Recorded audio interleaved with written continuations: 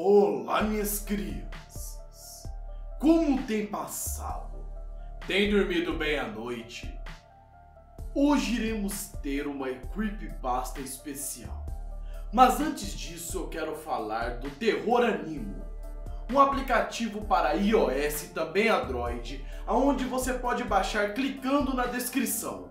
Eu já criei meu perfil lá, então é só você digitar Ambuplay e me seguir Nesse aplicativo você vai poder compartilhar suas experiências de terror, fazer posts, colocar fotos, imagens, vídeos e além de conversar com vários usuários também do aplicativo através de chats. Nós temos um chat oficial da Legião do Medo que você vai procurar no aplicativo e poder conversar comigo.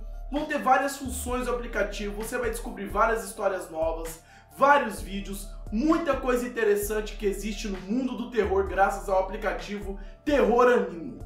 É só você baixar para o iOS e também para Android nos links que estão na descrição. Vale muito a pena e vocês vão curtir muito. E agora você já sabe, só os melhores da Legião do Medo, já deixa aquele like de início para apoiar. Não deixe as creepypastas morrerem.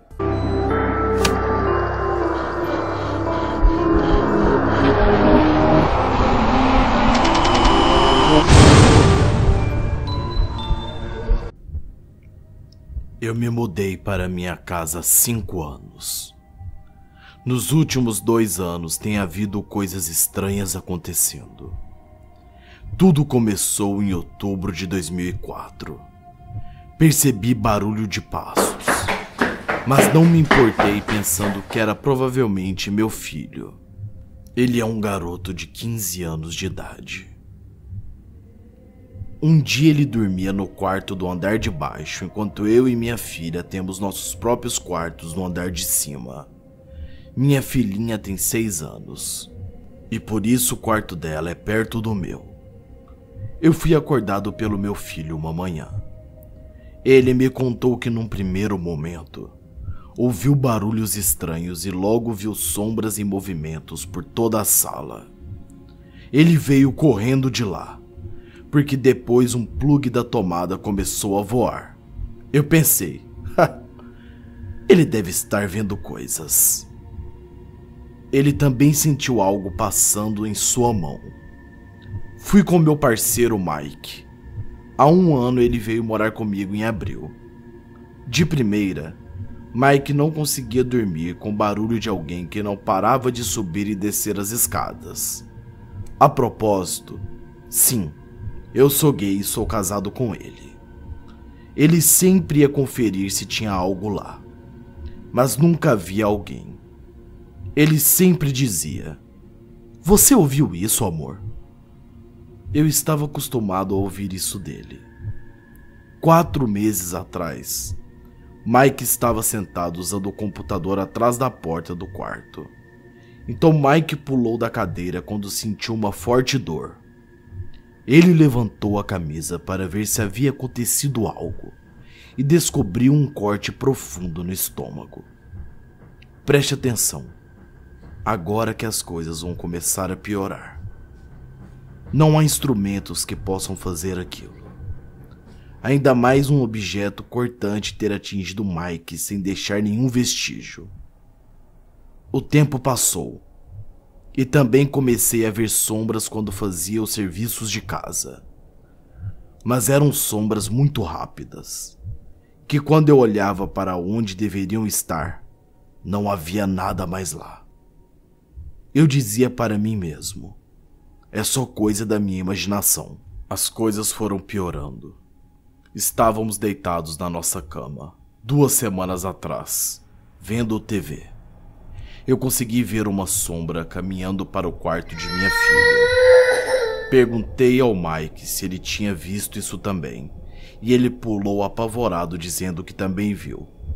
Pela primeira vez, eu estava completamente apavorado. Eu tinha, eu tinha que ver o que era isso. Trouxemos nossa filha para dormir em nossa cama. Com o tempo, as coisas foram parando mas há dois dias Mike estava sentado no computador novamente, segurando um pedaço de papel de desenho no colo. Você deve estar se questionando: por que não mudaram dessa maldita casa? porque não somos ricos. Compramos essa casa em uma promoção. Tivemos sorte, na verdade. Não sei o porquê dessa casa estar tão barata. Mas enfim. Ele estava com aquele papel. E do nada, o papel acertou o olho dele de alguma forma e machucou gravemente seu olho esquerdo. Ele foi internado no hospital em uma agonia completa. Meu marido, o homem da minha vida. Ele não podia explicar como o papel atingiu seu olho. E isso era tão estranho. É algo impossível, na verdade. E no início, eu tinha pensado que isso poderia ser algum espírito, mas agora estou começando a ficar extremamente preocupado. Por que dessa violência toda? Eu me pergunto se isso sempre esteve comigo, porque sempre o vejo de canto de olho quando estou fazendo serviços domésticos, ou se é algo que já estava na casa. Um dia atrás, meu filho começou a ficar paranoico com essas aparições e começou a andar pela casa com uma câmera digital à mão, na esperança de fotografar a suposta sombra e descobrir o que era.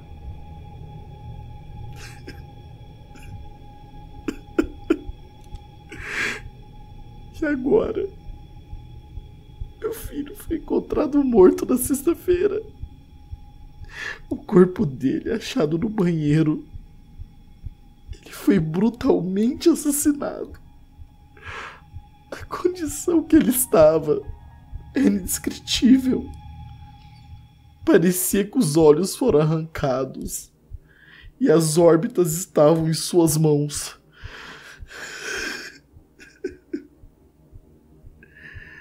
Calma, eu não posso perder o foco.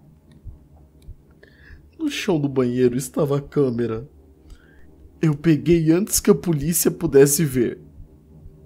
Então eu decidi olhar a foto. E foi o maior erro da minha vida. A foto estava lá. E ele estava na janela. Pelo amor de Deus, não olhe a foto que vou postar a seguir.